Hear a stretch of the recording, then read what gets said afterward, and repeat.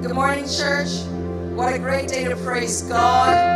I'm so glad to see so many faces here, so many. I'm glad to see people's faces. Isn't that right?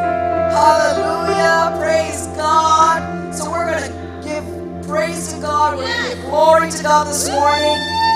Psalm 122 says, I was glad when they said to me, Let us go into the house of the Lord. Our feet have been standing within your gates, O Jerusalem. Jerusalem is built as a city, compact together. And Lord, I pray as we come together, Lord, that you will unify us, God. That you will unify us as one, Lord, one in the spirit, Lord, one in in in heart, Lord, one in vision this morning, Father, as we gather together, Lord. Father, we pray that you will give us a vision, Lord, for this city and for this nation, Father. Hallelujah. I just want to make this declaration. Can we sing, You're the God of the city? Shall we all just stand up and welcome the presence of the Lord? I want you to just say, Lord, fill me up, Lord. Fill me up. And if you see someone you haven't seen in a long time, greet them and say, hey, how you doing? And if you see someone who looks familiar and you forgot what they look like, you can ask them, what you been doing? To somebody and say, it's a great day to praise God. It's a great day to praise God. And we want to declare the Lordship of Jesus Yes. in this place, over our lives. We want to declare the Lordship of Jesus in this city Yes. and over this nation right now. Let's get up and let's praise God. You're the God of this city. You're the King of Lord of this nation.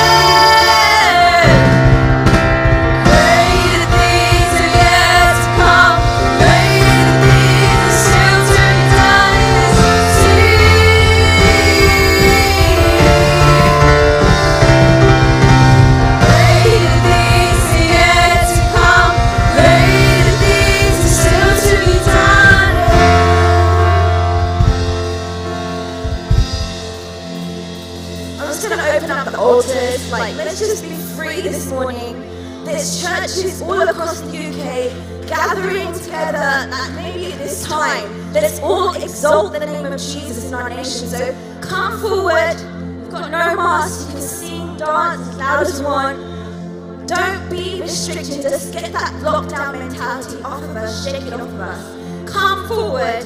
Saying come forward. No one's coming forward. I want to see people come forward. Let's do this not for ourselves. Don't do it for yourself. Do it for the nation. Do it for the generations to come. Do it for something bigger than yourself to come forward. Let's shake that shake the atmosphere, shake the nation this morning. Cause all my life you have been filled.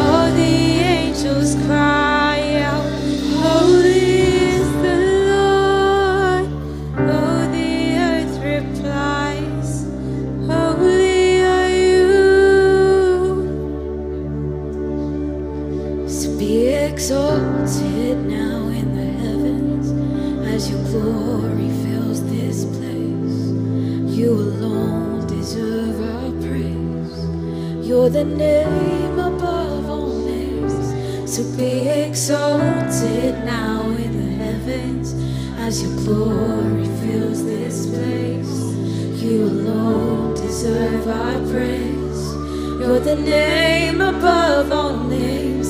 So be exalted now in the heavens as your glory fills this place. You alone deserve our praise. You're the name above all names.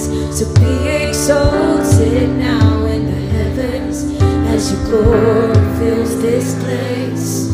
You alone deserve our praise. You're the name above all names. So be exalted now in the heavens as your glory fills this place. You alone deserve our praise. You're the name above all names. Lord, be exalted now in the heavens as your glory fills this place. You alone deserve our praise. You're the name above all names.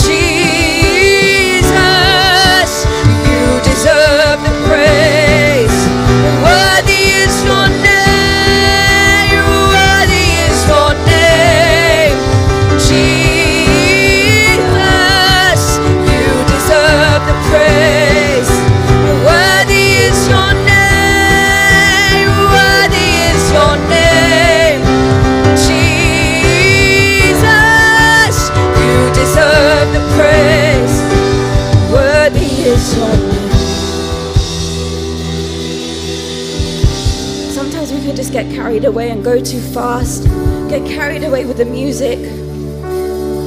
But I just want to really bring it back now. And I want us to really worship. I don't want to sing about us. I want to sing to Him. I want to sing about Him.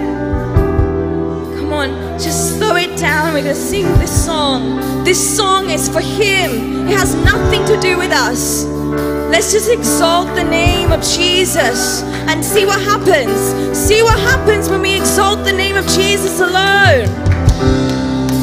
Let's not get carried away with hype.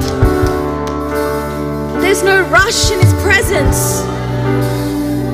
We came for His presence. Because worthy is your name, Jesus. You deserve the praise. Worthy is your name. Because worthy is your name, Jesus. You deserve the praise. Worthy surrender, we surrender.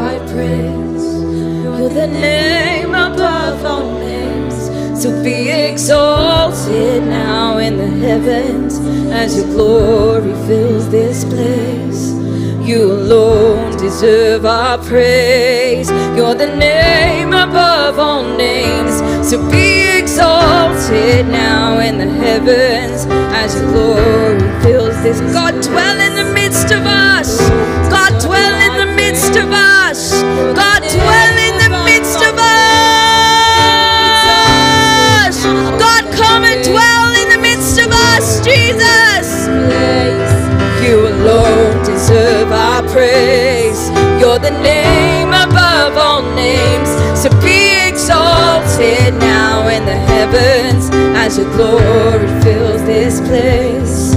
You alone deserve our praise.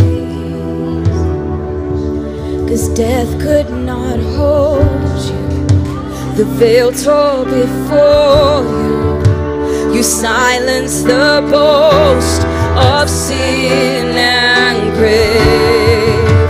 The heavens are roaring, the praise of your glory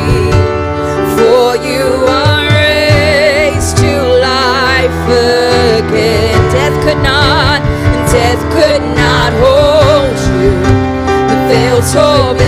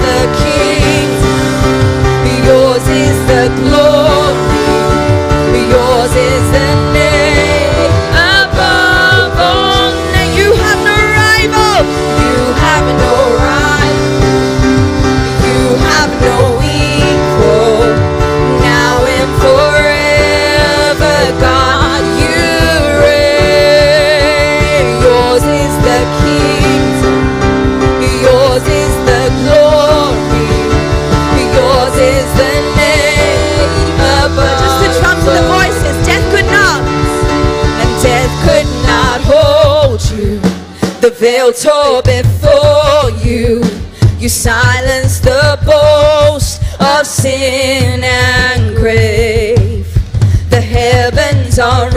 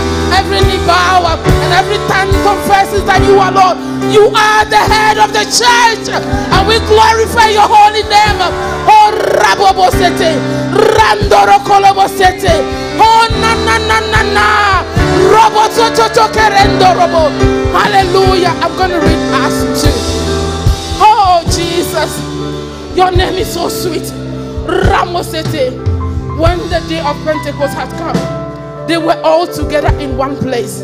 And suddenly, a sound came from heaven like a rushing violent wind, and it filled the whole house. And they were sitting where they were sitting.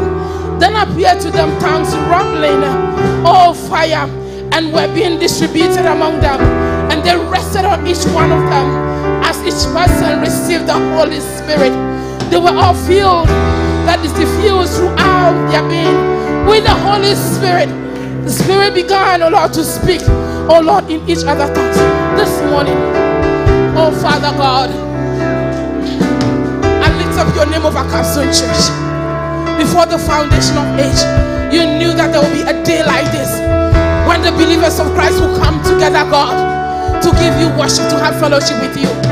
We are gathered this morning not in any other name, but in your name, Jesus.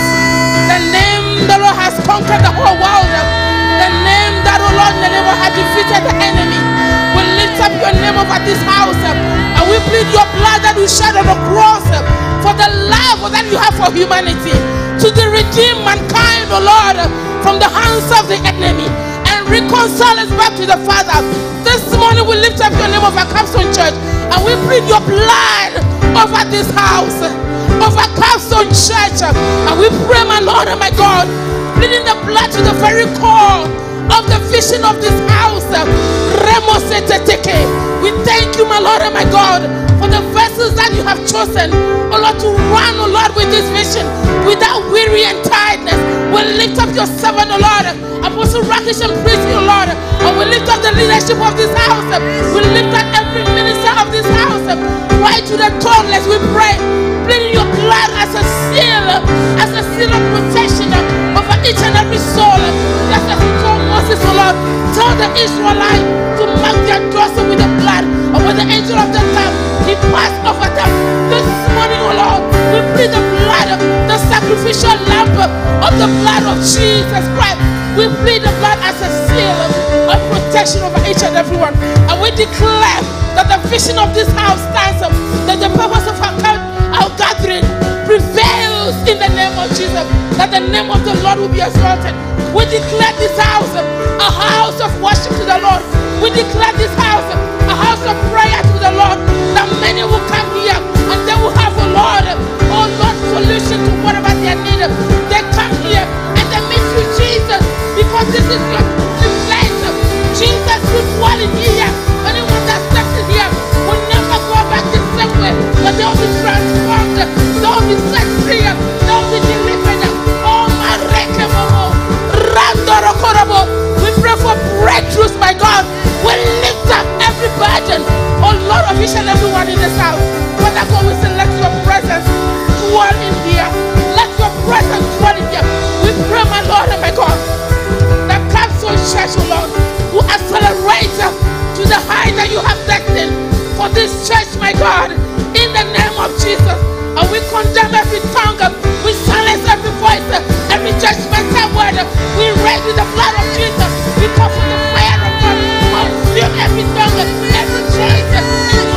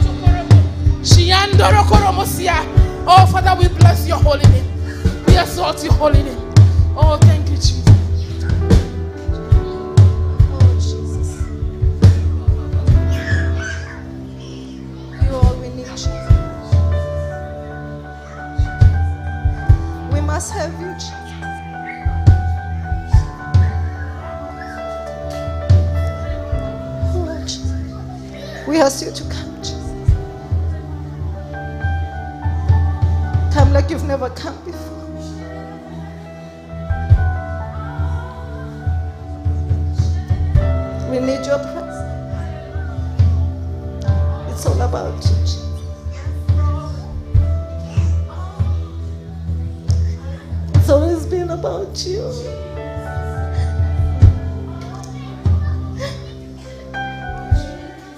Come fill this house. Come dwell here, Jesus. Come make this your dwelling place forever, Jesus. If we don't have you,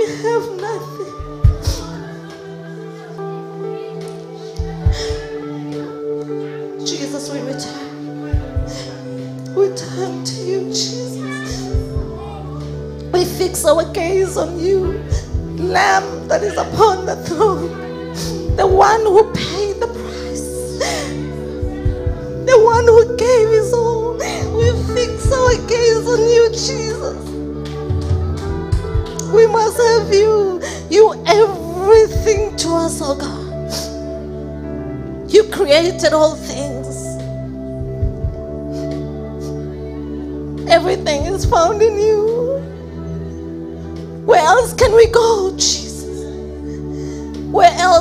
Go? Oh, Jesus, light of the world, shine your light in this house and let darkness flee, God. Let sickness flee, oh God. Let everything, Jesus Christ, that is not of you, oh God, leave in the name of Jesus. gonna come.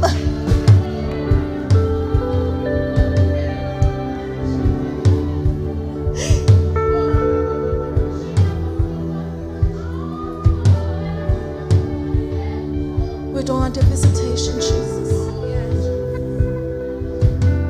We want you to make this your dwelling place, Jesus. Oh, Jesus Christ, the place, oh God where those who are in darkness will come because they see the light, oh Jesus Christ. Come. We love you here, Jesus. You are wanted here. You are needed here, oh God. We worship you. We honor you. We love you. We give you glory, Jesus. We say, take your place. Take your place. Take your place. Take your place in our hearts, Jesus. In our minds, oh God. Oh, Jesus Christ.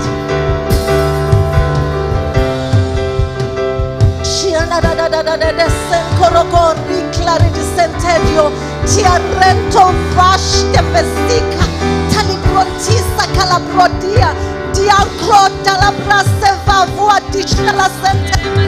Sente, Hantanta Randele, Lebra Baba Sentoria, Haretosa Caladosha Calareta Sembrestela, Uriasta la Boscia Calita, Ratatenda, Landa la Baba Baba, Baba la la la la la la la la Odiaste la Boscetta la Brasta la la la la la la la la la la la la la la la la la da la santa la la da da da da la da da da da da da santa la bro racciate sala roda di santa la bro ba ba ba ba ba ba ba oh ya ya ya santa Catia, e senti la terra, da sognata, sabio, sata, testa, da da da da da da da the King eternal, immortal, invisible,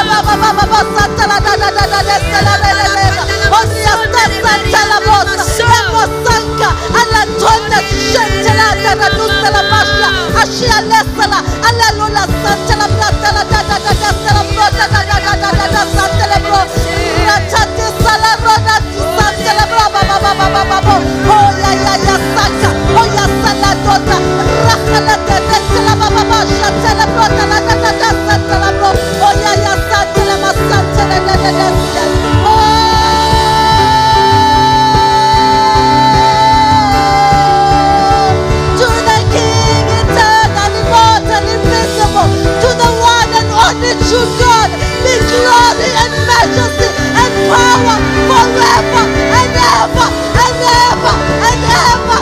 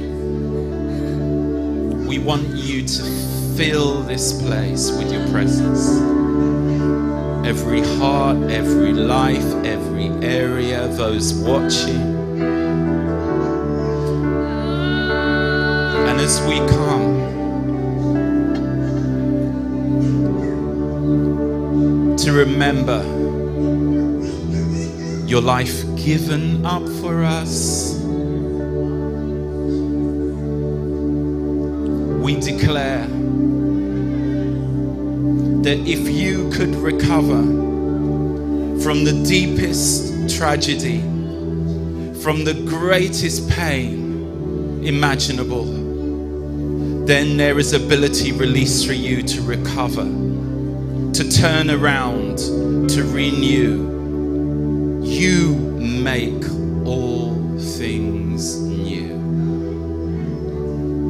You make all things new. I just really want to hurry along this morning because time's going. But um, rather than saying too much, uh, I just wanted to use an illustration before we break bread and take from the cup.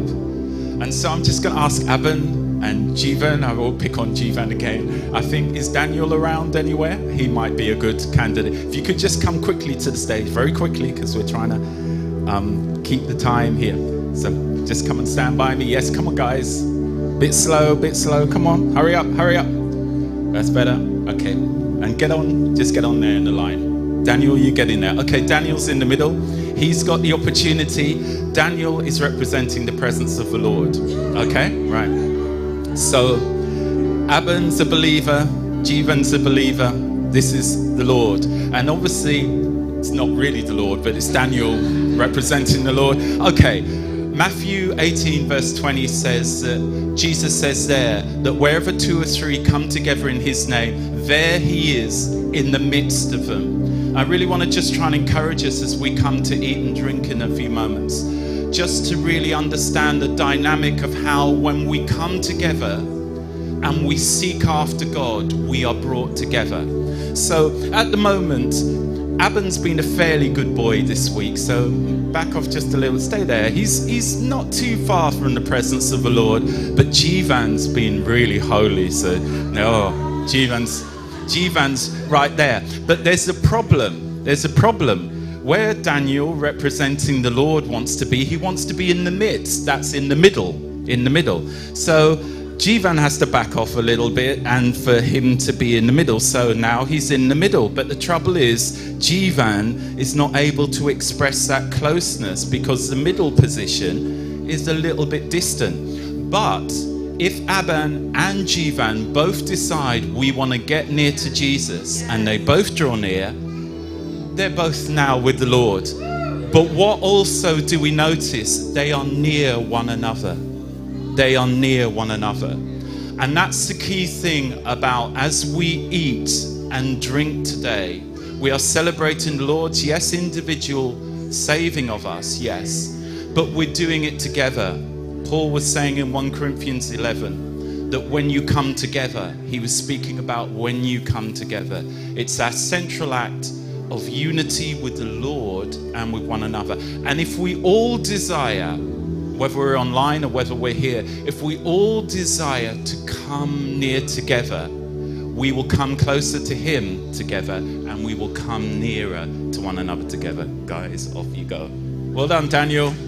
Don't get illusions of grandeur now. So um, let's come and eat. Let's take the bread together.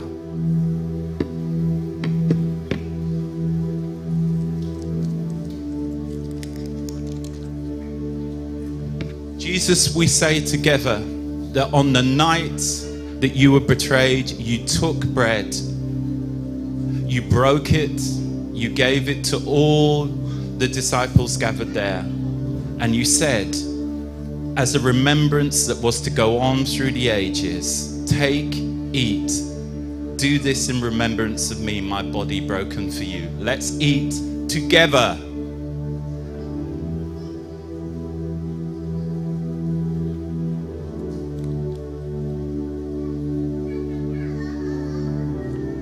So a cup was taken, a cup that Jesus spoke of just before his blood would run. And who knows the depth of what that meant to him personally. But we say together today, we are so thankful that you went that far, that you completed everything you were called to do. And you've brought us together right now, this morning, to celebrate together the new covenant in your blood. And we drink together now in remembrance of you, Jesus.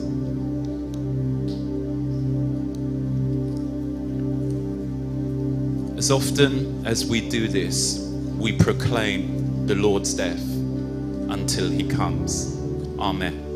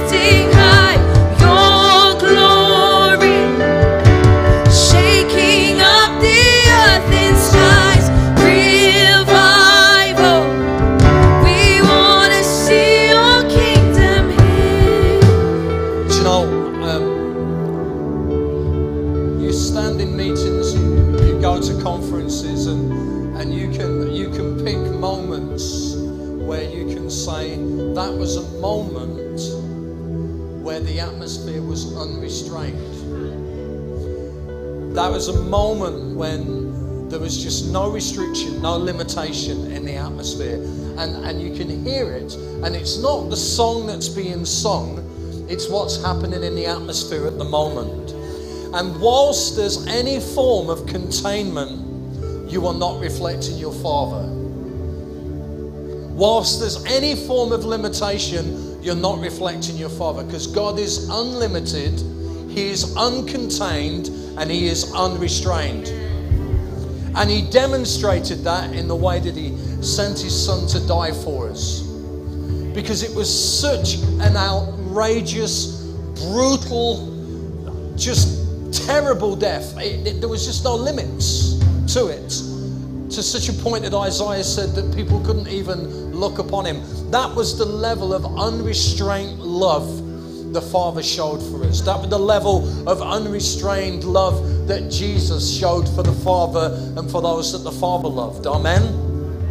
And you can tell when that happens in a room, it's like a switch goes off and it cannot be switched on from a platform. The, the worship leader, if a worship leader doesn't want people to worship God unrestrained, then they need to go and get saved. But, but the point of it is, is, is nobody can make you do it.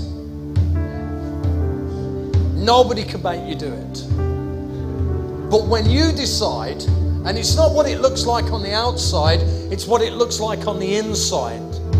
And when unrestrained worship happens, it's like Mary at the feet of Jesus. We're going to take an offering. But Mary's sacrifice to Jesus, it was unrestrained. Why was it unrestrained? Because she did not care what anybody thought about what she was doing. She didn't care about public opinion. She didn't care about what she looked like. She didn't care about what the religious leaders were going to say. She didn't care about the person next to her. As long as we're somebody else conscious, we're not God conscious, really. But the moment you get fixed in Him and you forget about everything else and you just totally let the floodgate go, then you start reflecting your Father. And it reflects in everything.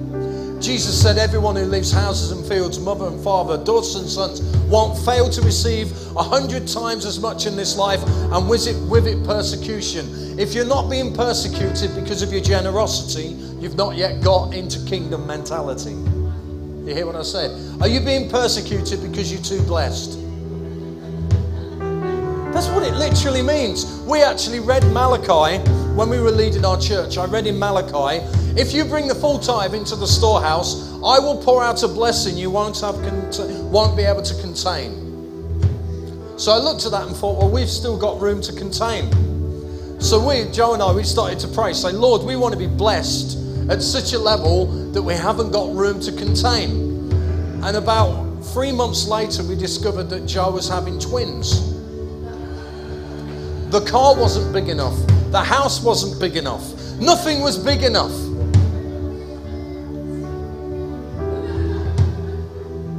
And this is what it means. Whilst there's an empty chair in this room, we are not living in the fullness of the blessing that God wants.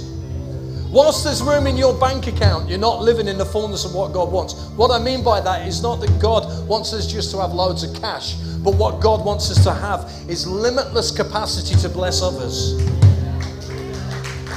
And where that starts is in the little things, in the giving.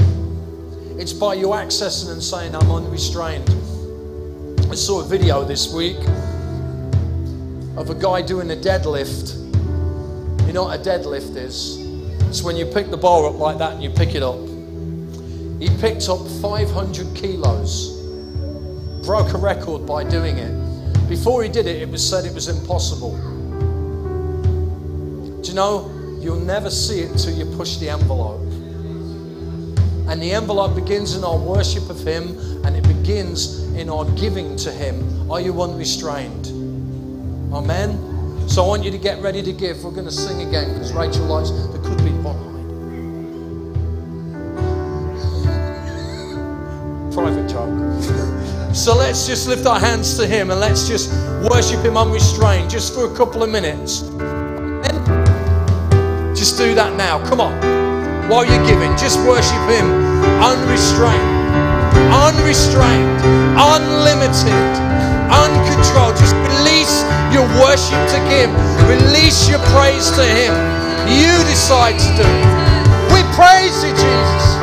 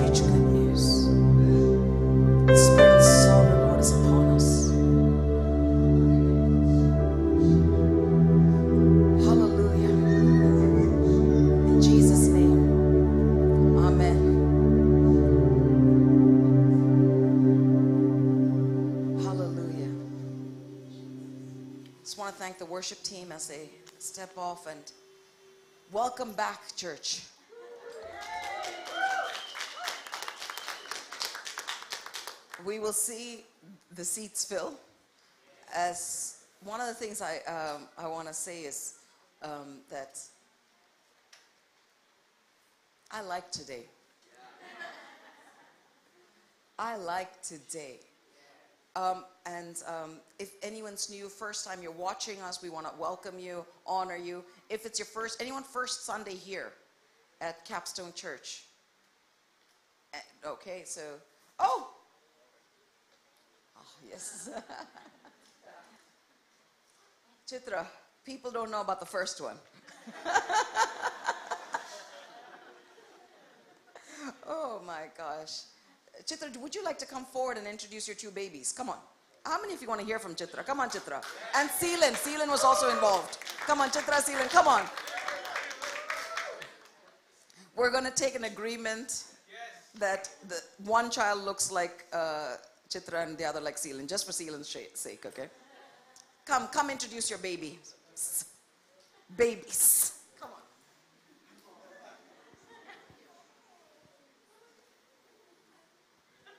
Hi everyone. so last year, Kezia was born. This year, Elora is born. Praise God. So, and next year. oh, Seelan, want to say something? How has it been? Hello, everyone. I, I, I see Seelan's hair, and I feel like Chitra dressed Elora, Kezia, and Seelan. There. Let's give them a big God bless you. They have taken the, the, the word of the Lord at heart and said, We will multiply. I love them. Just give them a big God bless you. Um, hallelujah. I think we have a testimony of healing. Would you like to come forward and share your testimony?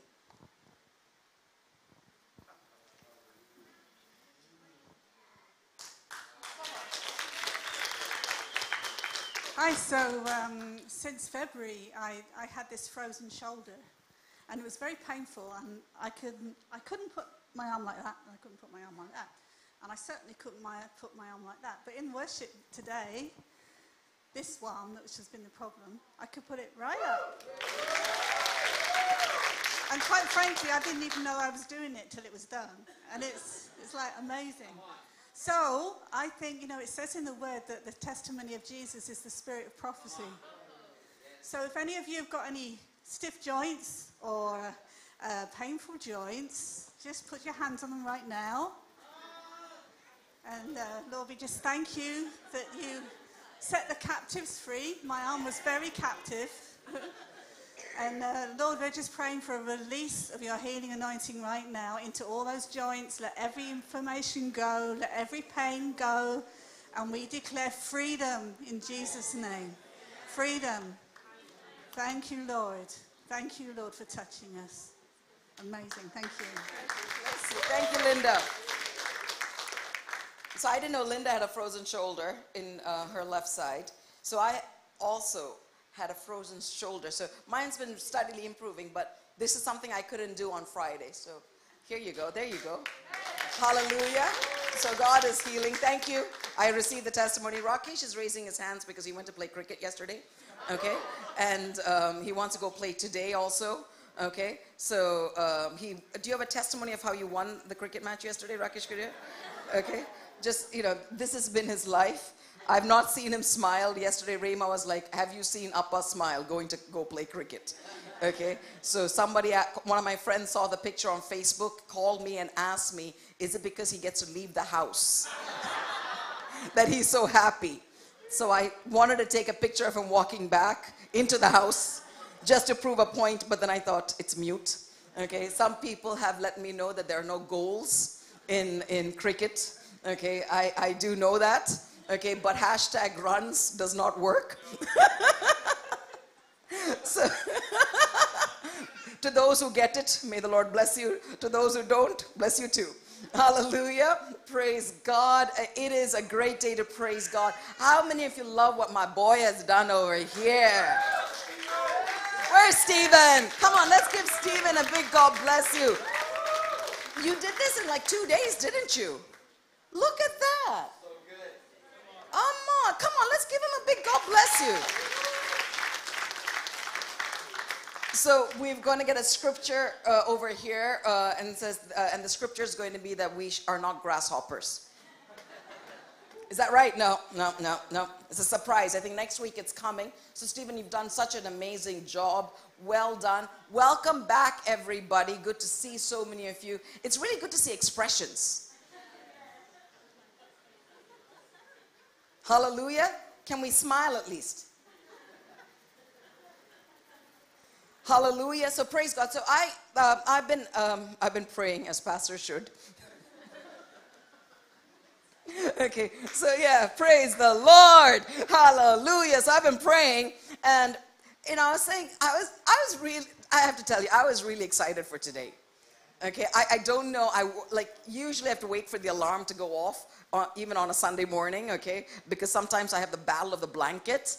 Okay, my battle, the blanket wants to stay with me, and you know I have to fight it, and the blanket takes a life of its own. And literally, oh, there. See, I see there are people who identify with this.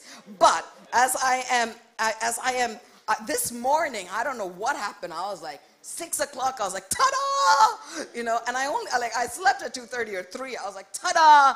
And I was like, my gosh, what a great day! And I was so excited to see you guys. Okay, and also I love the word that the Lord has given. Sometimes, you know, as a preacher, the Lord gives you a word, and you're like, do I have to? Okay, you, there are days you're like, Lord, they're going to hate me. They're going to pray for a new pastor. Okay, they're going to be praying for salvation for the pastor's life and for the pastor's family. Okay, it's it's just one of those, you know. And this word, I was so excited for, and I have to tell you where the word came from. Okay, from the Lord. Yes. Okay. But I was asking the Lord, and the Lord was reminding me of when we planted Capstone Church.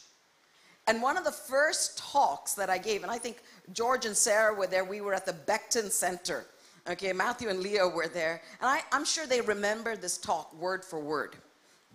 Okay, I mean, Matthew could come here and just go preach it like this without me because, I mean, it was 15 years ago, so they remember, you know.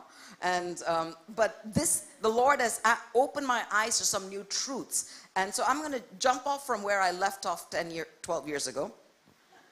And I'm going to continue the word. Hallelujah. You guys are so serious this morning. Hallelujah. I think we need Daniel up here to represent Jesus. I'm just saying, okay? I know it's a good rep. Uh, did you see Eben's face when when Michael told him that you're the one that's far from God?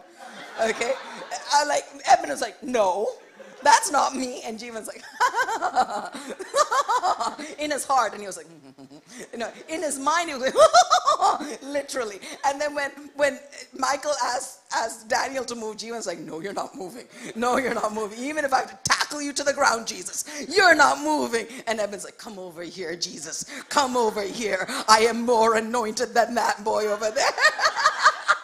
Hallelujah. So, welcome back to church, everybody. and so, praise the Lord. So, this is the word that the Lord is teaching me from, and it's going to be teaching you from today, is from the book of Nehemiah.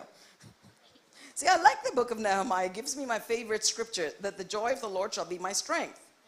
Hallelujah. That's a good scripture. Somebody say amen to that. Now, you guys are not so serious. Now you don't have the masks on. I know who's not saying amen, and I know who's not. Okay? I can tell now. I'm telling you now. Okay?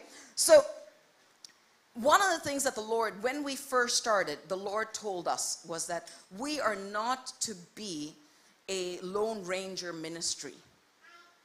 You know, where we are just one person, top, like top heavy, and the, the rest are pew warmers. And so the, the vision of the church came through how Nehemiah rebuilt a wall around a city. And that's where the vision of Capstone Church came from. You know, where each one was building the wall that was in front of them. Now, as we go into the scripture, I'm giving you a little bit of the background. You know, the people of Israel had been taken into exile. and Nehemiah was a cupbearer in the house of the, uh, of the Gentile king. And he got a message saying that the city is in ruins, that, that uh, Jerusalem has been burned down, the gates are destroyed, the walls are destroyed. And as he gets this message, his heart breaks for the things of God. His heart breaks for what is happening to what God loves, what is happening to what God has built, what God has established. He is moved by what, what moves God. And so he approaches the Gentile king and he speaks to him and he says, Listen, I have to go do the Lord's work. Somebody say, I have to do the Lord's work. Now, uh, before we get into the word, I just want you to close your eyes. Lift up your hands to the Lord, wherever you're at right now. I want you to say, The Spirit of the Sovereign Lord is upon me because He has anointed me to preach good news. Father, I pray right now that you will fill each one. Fill us with your presence, fill us with your purpose. Fill us, Lord, with your faith and destiny.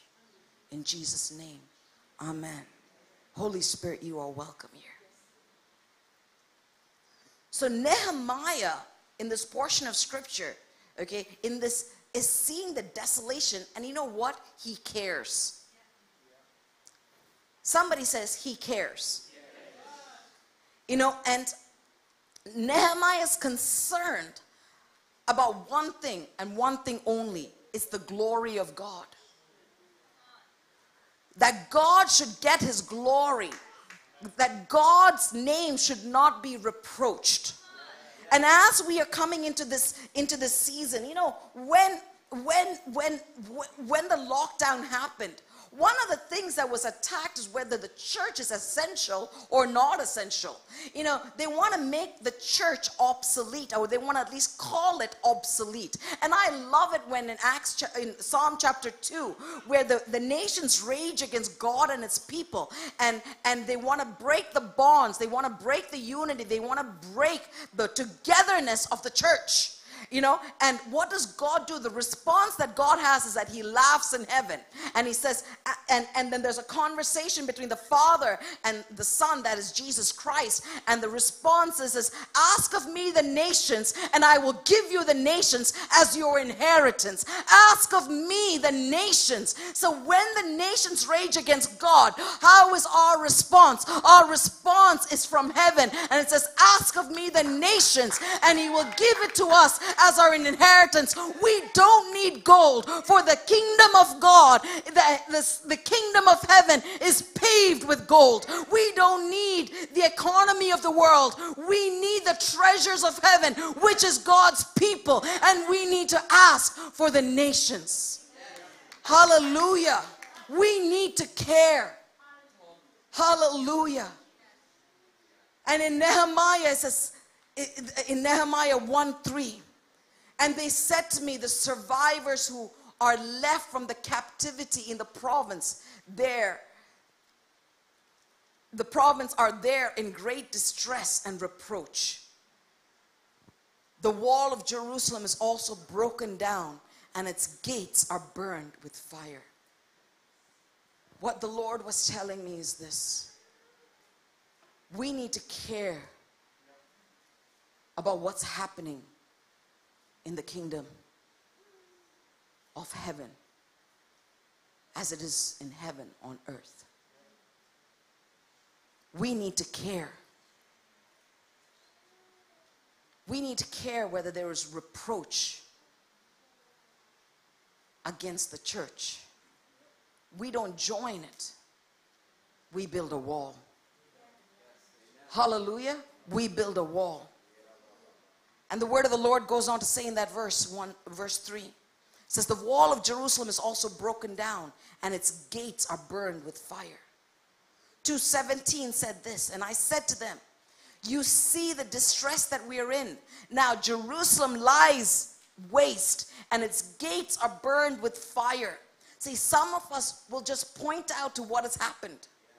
We'll say look Jerusalem is destroyed. The gates are are are burnt down. The seats are empty. the church is not functioning, we'll point out look there, look there, look there, look at the disrepair, look at the dis, dis, disunity, discord. We'll say, look there, look there, look there, look there, look there, look there. But that's not our portion. Nehemiah says the portion, and he says, Come, let us build the wall of Jerusalem that we may no longer be reproached.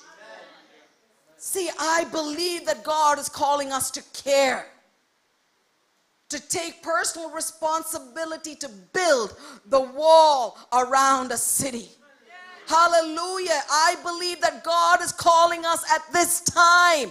God is calling us to build. It is us, an individual call. We can say, Look, the chairs are empty. Or we can go into the streets, into the ramparts, into the byways and the highways, and call the people into the house of the Lord. And there says, Come home, son. Come home, daughter. There is room for you in the house of the Father. Hallelujah. Come, let us. Somebody say, let us. Let us. Let us build. Let us build. I want you to say, turn to somebody and look and say, Come, let us build. Come, let us build. And point to them and says, He means you. She means him. Come, let us build. See, the Gentiles delighted in mocking their Jewish neighbors. The world, the press delights in mocking the church. I've never seen so many articles about ministers till I, in the last, as much as I've seen in the last year. Suddenly, ministers and their offering messages have become really popular. It's not popular among the church, it's popular among the press. Hallelujah. Ministers releasing the breath of the Holy Spirit is more in the news than ever before. Maybe I'll be in the news.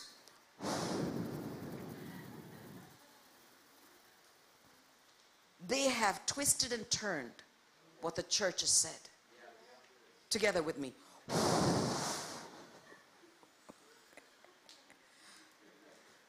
Our acts of prophetic and faith have been ridiculed and mocked.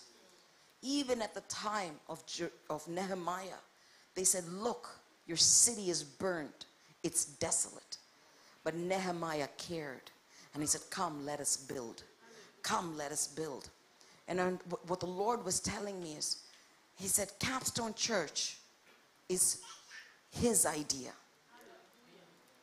And the vision of this house is His vision. Hallelujah. And if this doesn't accomplish what it has called to do, it's because we haven't built. The vision is there, the prophetic is there, the people are there. Come, let us build. Come, let us build. See, the Gentiles love to point out the, the destruction of God's beloved. That's not our portion. Hallelujah. Psalm 48, verse 2 says, Zion city is his home. He lives on his holy mountain, high and glorious, joy filled and favored. Zion mountain looms in the furthest reaches of the north, a city of our incomparable king. In the New Testament, the church is his body, and it should be without spot or blemish. But who builds that? You and I, my friends. You and I build that. Hallelujah. Ephesians 3:21 says that the, the glory in the, the God longs for the glory in the church and us to glory in Christ Jesus.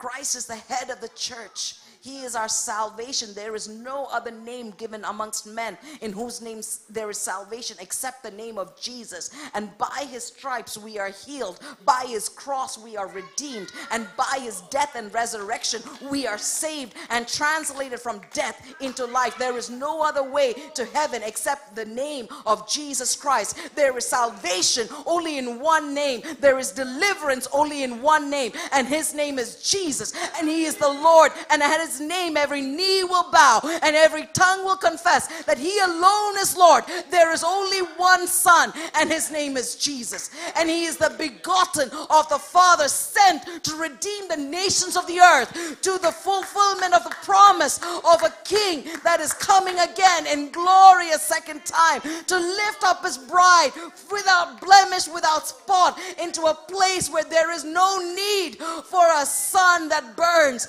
but there is one sun who will be the light, and there will be in that place no more tears, no more sickness, there will be no more sorrow, no more pain, but there will be only joy, there will be only worship, and there will all be only be peace. Why? Because the Prince of Peace reigns in all his glory. God loves his church. And he wants to see it built. Come, let us build. Come, let us build. Psalm 87, verse 2 says this God loves the gates of Zion, it's his favorite place on earth. The word of the Lord says, We are his gates. Psalm 24 says, Lift up your hands, O you gates. We are the gates. And we need to build one another up. Hallelujah. Hallelujah. I want to read 1 Samuel 4:21. And this was when in those days in the Old Testament we find that the presence of Are you guys with me? The presence of God was in the ark of the covenant. And where the ark of the covenant was, that was where the presence of God was and the Philistines came and took it. Together with me. They took it. And it took a David to go bring it back. Hallelujah. But it wasn't easy, it was work. He had to figure out how God wanted it done. Hallelujah. He had to go bring it back. But look at 1 Samuel 4:21. And she named the child Ichabod, saying, The glory has departed from Israel because the ark of God had been captured because of her father in law and her husband. I like, I like the glory of God to be with us. So simple. Ichabod. So this, um, I didn't know that it was a biblical name, but when I was a kid, you know, I like during like growing up in the American culture during Halloween, they'd bring you know the headless horseman, and his like there was this show, you know, they, the, the tales of the headless horseman, and the guy's name was Ichabod Crane, okay, and um, and so uh, th- this name Ichabod rings in my head because I know that many of you think that I'm six foot two, but I'm not. I'm actually five two and three fourth, okay. Don't forget the three fourth, okay, please, okay. Repeat after me: five, two, and three. You get me. You get me. See, you guys know. Five, two, and three fourths. Okay, that's my height. So, so when I had the the previous the the the, the five series, the BMW that I was driving, my friends, a lot of them are 5'10, 5'11. You know, they're I call them Amazons. Okay, they call me short, and I call them Amazons. It's just love and friendship. Okay.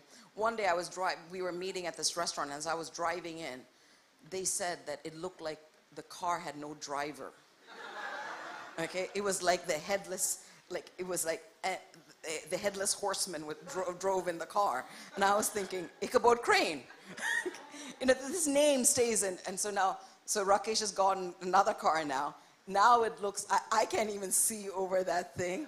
Okay, so I am literally sometimes driving by sight and not by faith. Sorry, this is being recorded. Can we edit this out? Hallelujah. I drive, I can see over everything. Hallelujah. I'm prophetic. But she named the child Ichabod. And I want you to understand this, and I'm going to take a stand on this.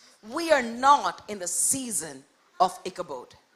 We are not in the season where the glory of God has departed from the nation. We are not in the season of Ichabod where the glory of God has left the house. No, we are not in the season of Ichabod. We are in the season where the coming of the Lord is near, where the presence of the Lord is here. Why? Because we will worship him and we will give him praise, and our God is faithful and he is there when we gather in his name. Hallelujah. So let me tell you something. I believe God is calling us to work together. Come, let us build. The, the world wants to ignore the church, wants to attack the church. If we don't take a stand, who will? And the weapons of our warfare are not of this earth. Our weapons look like love. Our weapons look like hospitality. I want you to say the word hospitality. Somebody say hospitality. Say hospitality. Say hospitality. Let me tell you, write this down that hospitality is one of the best weapons to use today to win this battle. The battle of social distancing is canceled by the spirit of hospitality. The hospitality is our portion. Jesus was constantly eating.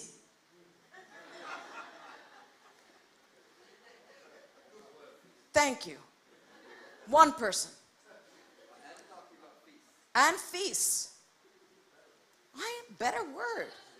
The kingdom of heaven is like a feast, my Lord said. Are you guys with me? See, if we are people of God, we're not to speak about the scandals of the church. The world is saying, if God is so strong, why is it so weak? Why? Because we're allowing a spirit of indifference to manifest, and we're allowing a spirit of disunity, and we're allowing a spirit of discontent. That's not our portion. Come, nudge your neighbor, just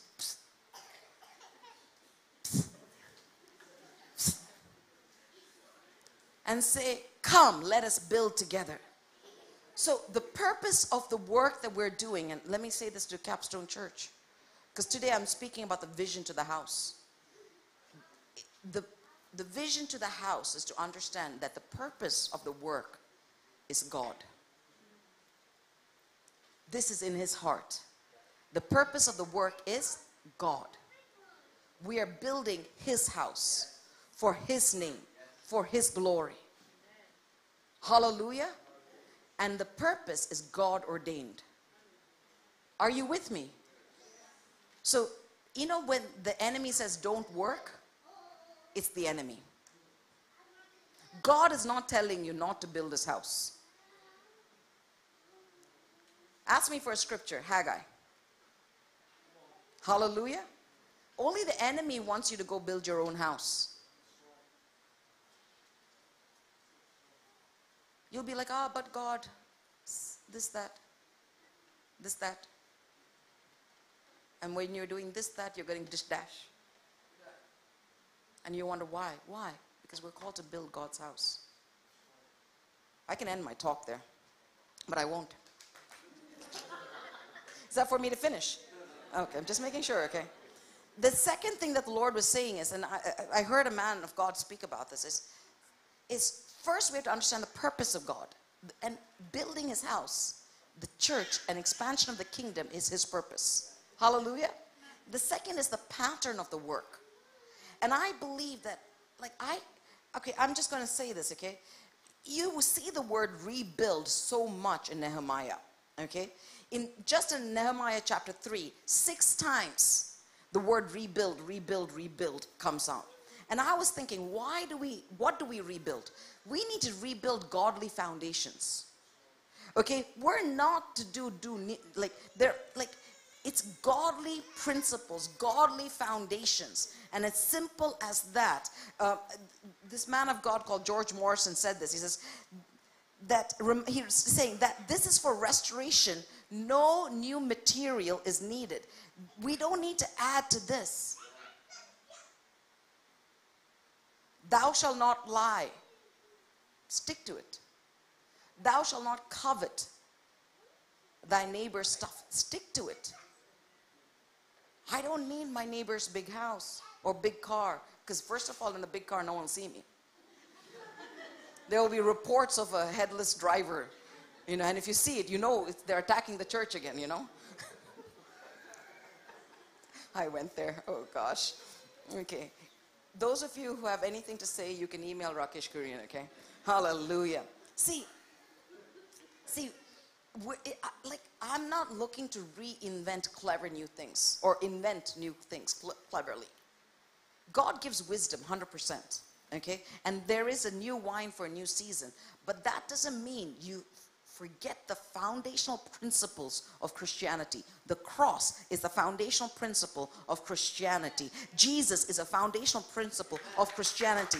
Worship is a foundational principle of Christianity. Worshiping the Lord, not ourselves, by the way, okay, is a foundational principle of Christianity. The Father's love is a foundational principle of Christianity. Hospitality is a foundational principle of Christianity. It says, You may entertain angels. Hallelujah. You know why you're not enter- uh, seeing angels? Invite some people home.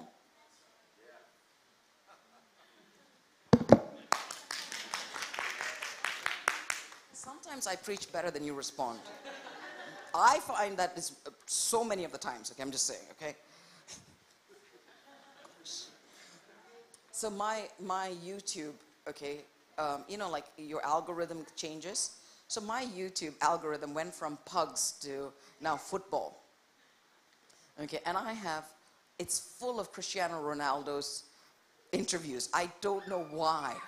Okay, I've been watching and watching his bicycle kick between him and Juventus. It's not him alone. Okay, but that I'm uh, like my I don't know what's going on with my YouTube algorithm. Okay, but yesterday, last night, okay, as as I was preparing the word and as I finished, I was about I said let me watch a YouTube thing, and it was one of his interviews, and it made me laugh. I, I'm not sure whether like he, who's the best. He says I'm the best.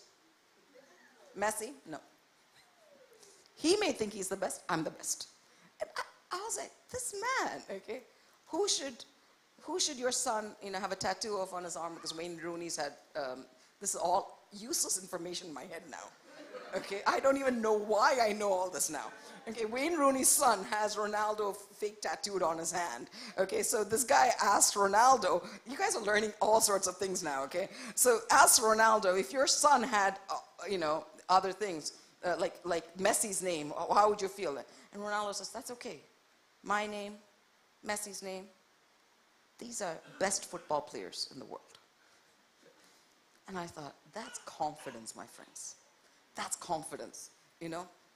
And I was thinking about this and I thought, I don't even know why I went to the story right now. Okay?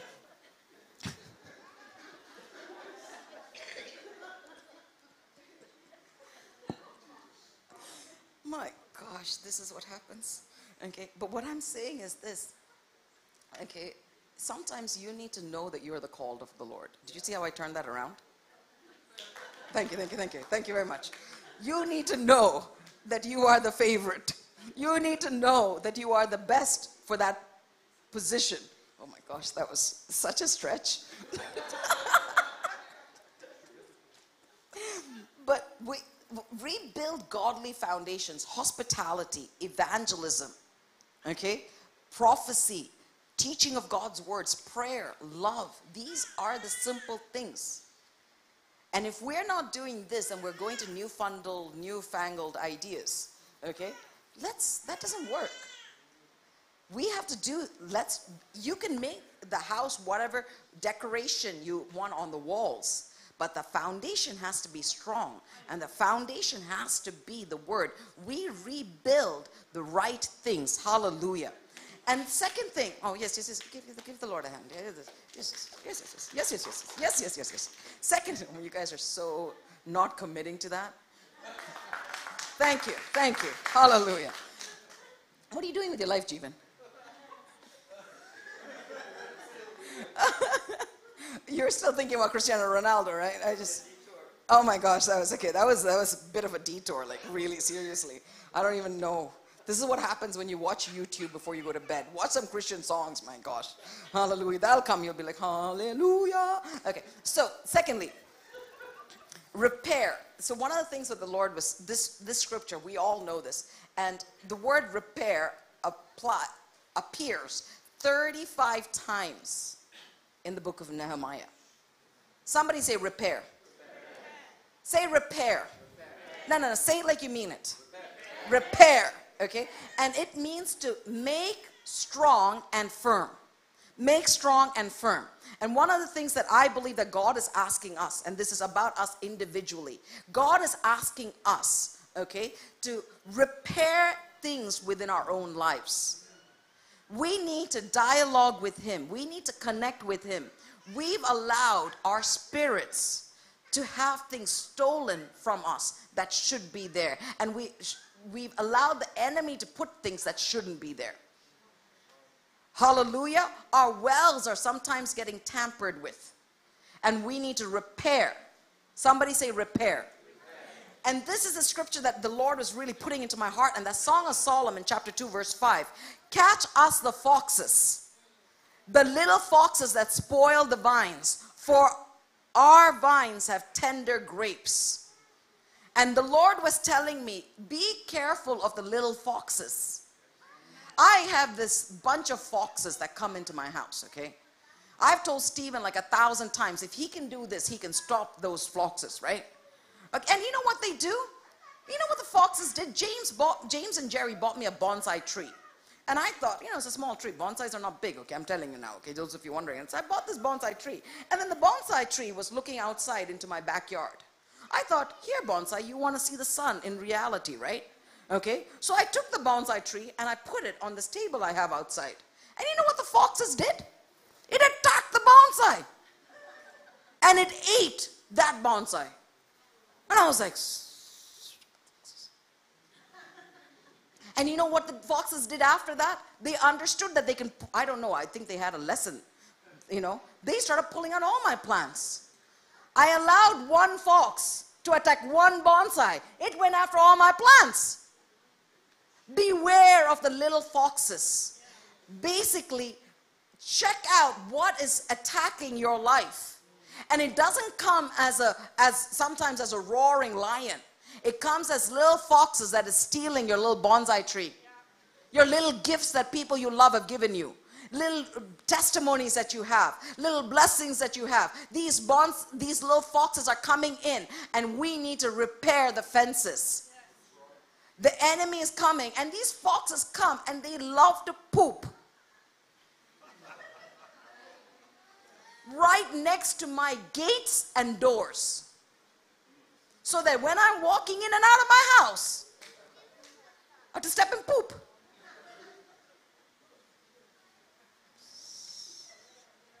Beware of the little foxes. We may be walking in poop because we're not aware.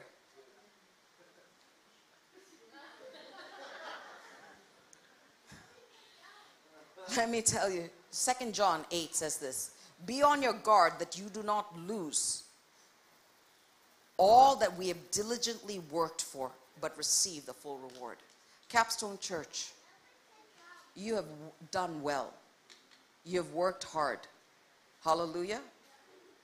You have worked hard. You have done well. But our journey isn't over. Our mission isn't finished. There is much more to do. Hallelujah. There is much more to do. Our journey isn't finished.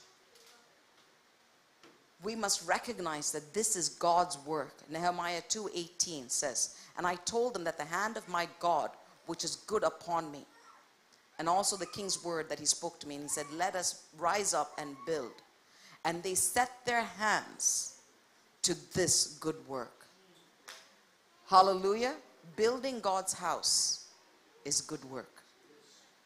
And we must set our hands to doing the work. D.L. Moody, how many of you have heard of the evangelist D.L. Moody? D.L. Moody said this A great many people have got a false idea about the church. They have got an idea that the church is a place to rest in. We do rest in God's love, 100%. But rest in doesn't mean that we get a nicely cushioned pew. We come in and keep the church out of bankruptcy by giving a little bit. We listen to the minister out of courtesy. Laugh at some of her jokes sometimes. This is not D.L. Moody, I've modified it.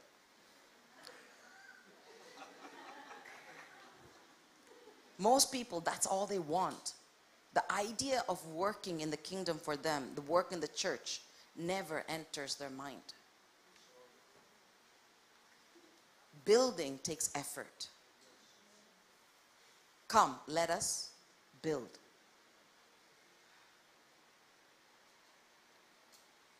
One Corinthians 12, and I want to read out the scripture. Verse 12 onwards says, For as the body is one and has many members, but also the members of one body, being many, are one body, so also in Christ. For by one Spirit we were all baptized into one body, whether Jews or Greeks, whether slaves or free, and have all been made to drink with into one Spirit. Do you understand? We have one Spirit, we are one body. For in fact, the body is not one member, but many. If the foot should say, Because I'm not a hand, I am not of the body, is it therefore not a body? If the ear should say, Because I'm not an eye, I'm not of the body, is it therefore not of the body? Is the whole body, if the whole body were an eye, where would be the hearing? If the whole were hearing, where would be the smelling? And now God has set the members, each one of them, and in the body just as He pleased. And if they were all one member, where would the body be? But now indeed there are many members, yet one body. It goes on to say this. Verse 27 says, Now you are the body of Christ and members individually. Each one of us is important. Hallelujah. Each one of us is important. As a pastor, the greatest relief I have is when I realize that God doesn't expect me to do everything in church. Thank you, Nick.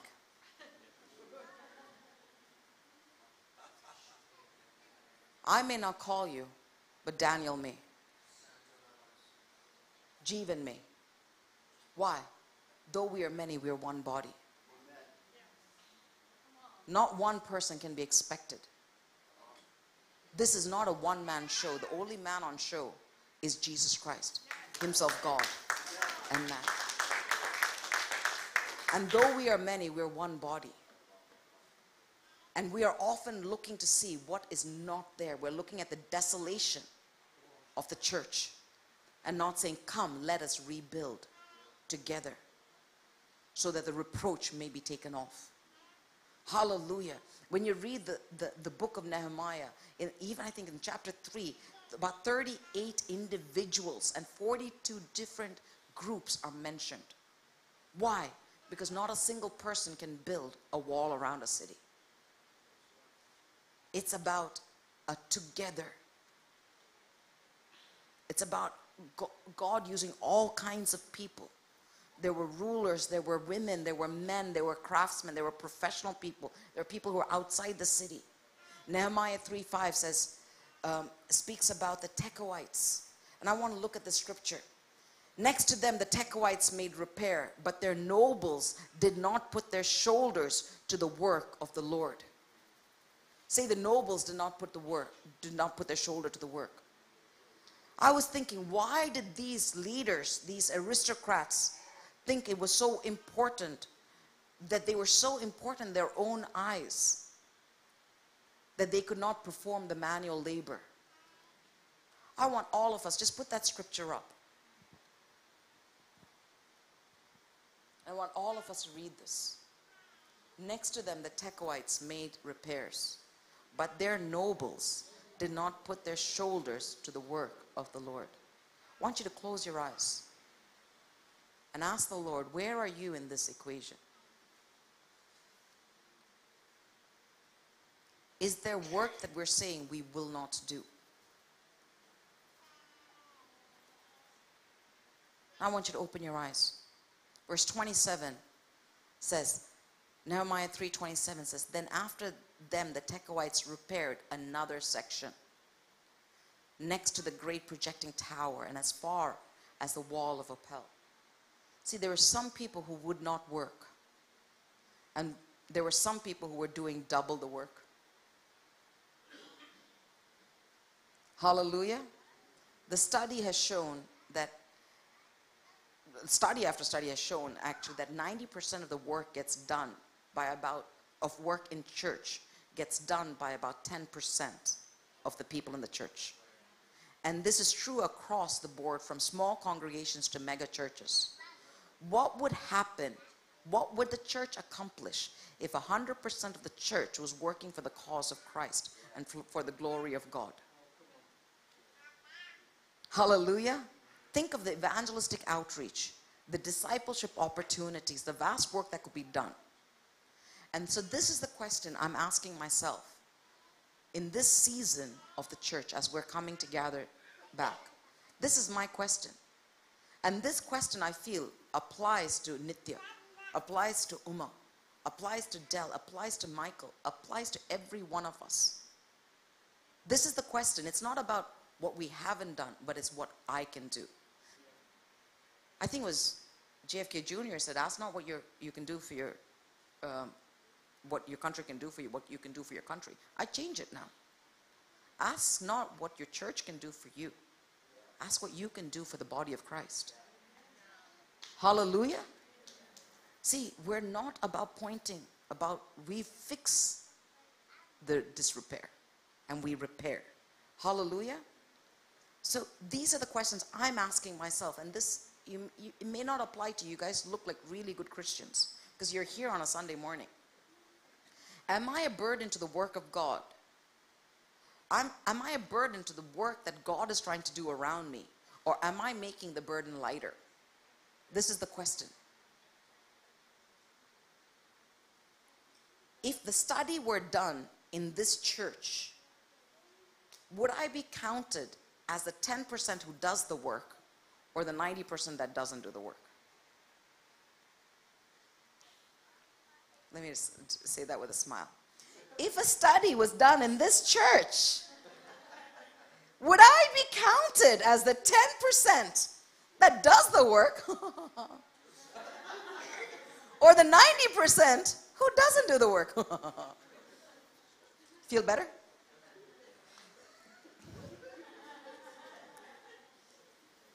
Which group would I like to be remembered as being the part of? The 90% or the 10%? so, where do you work? Nehemiah said it the place is in front of you. You do the work in front. Hallelujah. See, every there were different gates. There was a shepherd's gate. There was um, there was uh, the sheep in the sheep gate. There was the I like this name. I've pronounced it perfectly. Repeat with me, Hamfi. Together, everybody. I'm teaching you some Hebrew. Ready? One, two, three. Hamfi. Correct. Okay. My favorite gate is the dung gate. There was a dung gate. You know what? Some Israelite dude and his family had to rebuild the dung gate.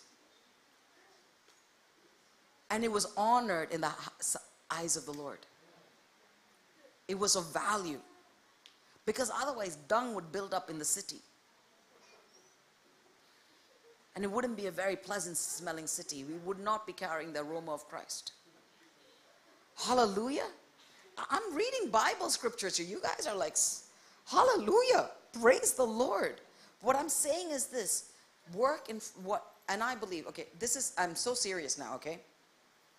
God is asking us to build, each one of us. Let's get back to that. Build what's in front of us, okay? It's not about our career. God will take care of that. Seek ye first the kingdom of God and its righteousness, and everything else shall be added onto you. Hallelujah. This is a biblical principle. Simple, simple, simple. Turn to somebody and say, simple, simple, simple. Hallelujah. And one some some simple truth is this every person's work is important. Your work is important. Your work is important. Your work is important. Every say my work is important. Say my work is important. Hallelujah. Edna's smile is important for me when I'm preaching. If none of you smile, I know Edna will. Hallelujah. You're welcome. Thank you. You know, if she wasn't smiling, you know what kind of response I'm getting?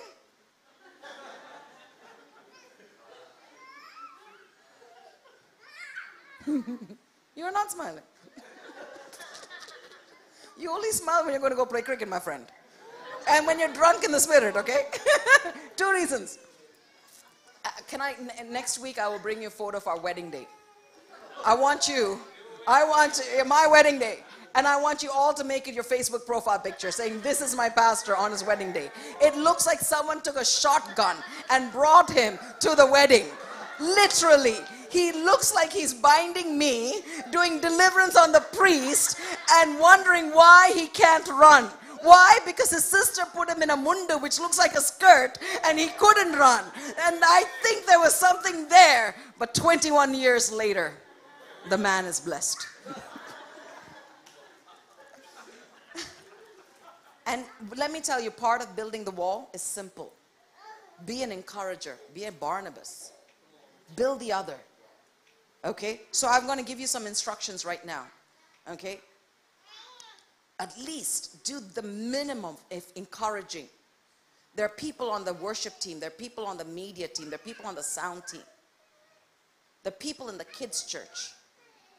There are people who are on service team. Encourage one of them. Be a cheerleader that the work may continue. Let's not let the 10% who's working get discouraged because nobody's noticing them. Either we be the 10% and make it 20 and 30 and 40, or at least encourage the 10%. All right, I'm going to clap for that. Hallelujah. I, I'm giving solutions. Michael, am I not giving solutions? Really good. Michael has to say that now. Okay? So be this is homework. And we're building the church together. Simple things. The weapons of our warfare are not carnal, but they're mighty in God. Be on the lookout for those you can encourage. You'll be surprised how many people require encouragement. Okay? And regularly encourage those who are in the habit of serving God. I want to encourage Lynette and Princess. They're Shani and Shani's cooking like every Monday still. Daniel, Dell, Dell goes shopping every every week for the last four to five years. Dell goes shopping. How many of you would like to go shopping like that? Can you imagine? And he comes and cuts the vegetables and the onions. And when I try to sit down, he'd be like, no. I don't know if it's because my ability to cut is not that great. I don't know. I just, okay? Encourage people because it's worth much in the kingdom. Hallelujah. Start with small things. Build what's in front of you. God uses great things, small things to do great works. The stones in David's hand brought down the giant. The McDonald's Happy Meal in the kid's hand fed 5,000. Yeah, he bought fish nuggets, I'm just telling you. Hallelujah. God has great plans, and each one of us is called to work. Praise God. Each one of us is called to work. I want to end with the scripture Nehemiah 4 6. So we rebuilt the wall till all of it has reached half its height. For the people worked with all their heart. This is all I'm asking. That we will build with all our heart. If there's something in our heart that's preventing us from building, catch those little foxes. Repair. Don't be offended with me or the leadership. I'm not perfect. Not even six feet two. Cristiano Ronaldo, six feet two, seems. Useless information in my brain. Don't even watch football that much. Hallelujah. No human being is perfect. We human beings will let you down, but God is faithful. Catch those little foxes that prevent you from building His house. For this is between you and God, and the purpose of the work is between you and God. And the plan of the work is between you and God. And the people of the work is you have been called and chosen.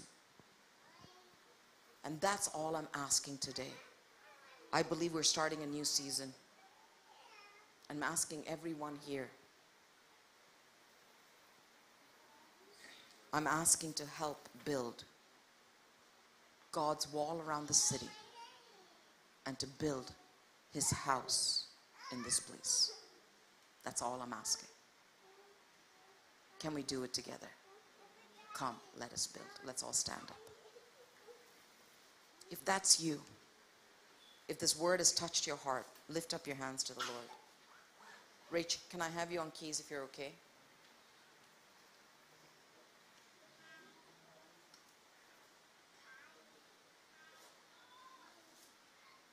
I want you to take this commitment because I believe we're in a season of rebuilding now.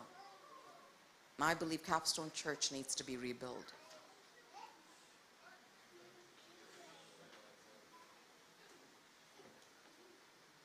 And God looks at availability, can give even a donkey the ability to speak. So lift up your hands to the Lord in this place.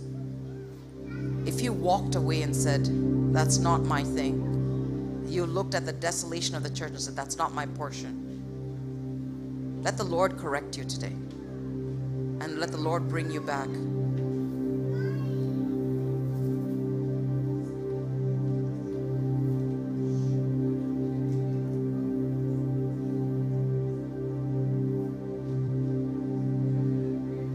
Us to take a fresh commitment. As leadership in this house, I'm giving a call. And I'm saying, Come, let us build.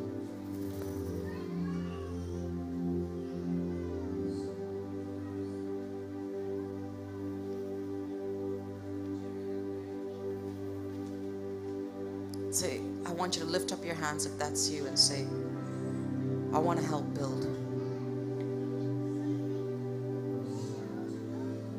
If you need to repent for not building, come before our King and say, Here I am, God. Repair. Catch those little foxes that have stolen.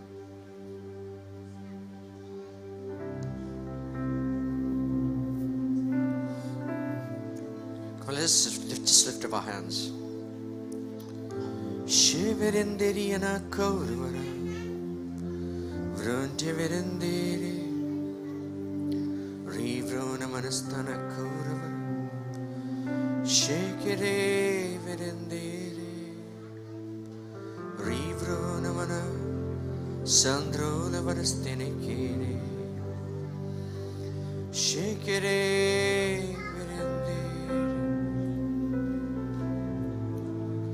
Santo la varastiana kauramana. Shiverendiri viri. Our Father in heaven,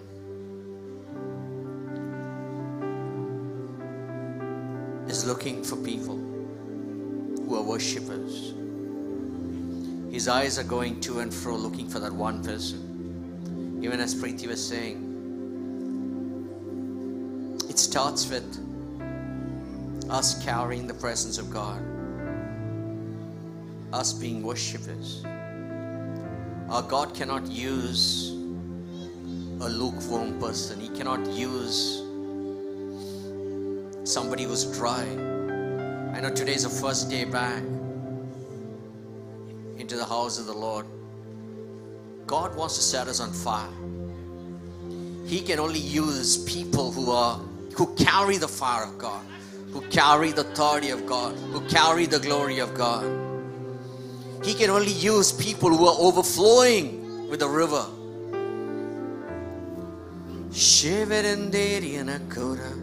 Each one's calling can be different. Your mandate may be different. You may be called into different mountains. You may be called just to even serve water. But you know what? You still carry the presence of God. You still carry the fire of God. You're still a worshiper.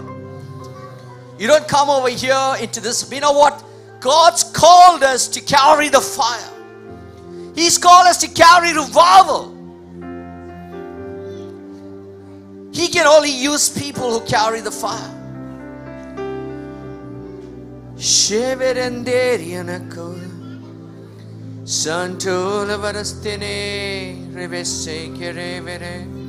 Everything becomes easy when you carry the presence. Santalo rivesse che reverendere rifrona manastana cora Santola varastene che revere We don't need to try to make things happen because God's going to go in front of you. The Bible says in Isaiah, it says the glory goes before you. The glory brings the anointing. Just like Linda came and testified, she just got healed in time in, in, in, in a time of worship.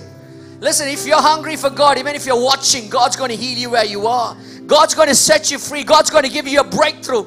It may, it may be whatever you're searching for because it's the glory of the Lord which brings breakthroughs. It's the glory of the Lord which fulfills your destiny, your calling. And everyone over here, like just just Preethy has said that you are called. You're called. The most important thing is to know what you're called for. Just lift up your hands if you feel that you're called for God. Call, call for doing something significant. You know what? When God called us, just, just as Preethy said, to build, He said something. He wants us to carry the fire. He wants us to carry revival. He wants us to not just transform cities and nation, but nations. But it can we can do nothing without the fire. It's the fire that burns. It's that fire that burns in the altar.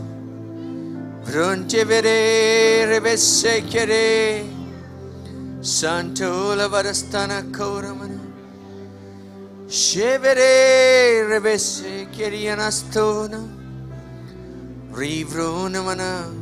Santola varasteni kiriana. Shevirende rivere. God wants us to give God wants to give fresh breakthroughs in this house today.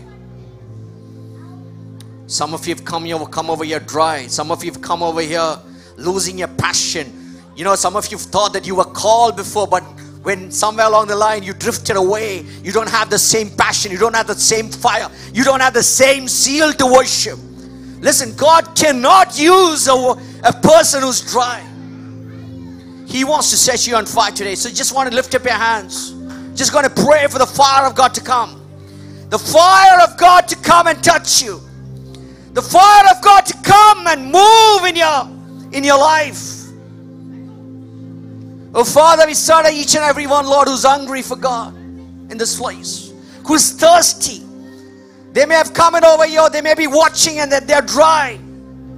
Today we pray that you come, Lord. Come in a fresh way. Come with your fire. Come with your glory.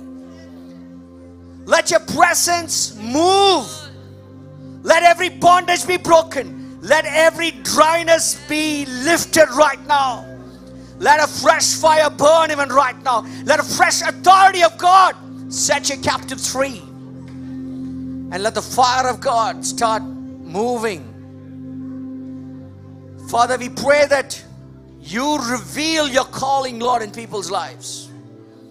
You reveal what they're called to. But we thank you, Lord, that you're calling worshippers. You're calling worshippers. Let there be a fresh passion for worship. Let there be a fresh passion for your word. Let there be a fresh passion for your presence. Lord, we pray, Lord, that even right now, let your presence increase, even in this house, even in this season. Let your glory increase, Father. In Jesus' name we pray. Amen.